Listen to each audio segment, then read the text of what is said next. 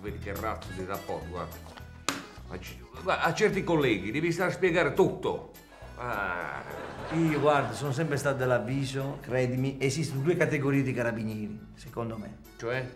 Ci sono i carabinieri, voglio dire, quelli come...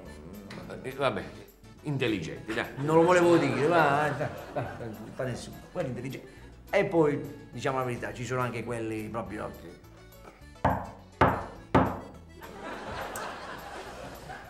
Dove vai? E hanno bussato. E vado io. Chi è?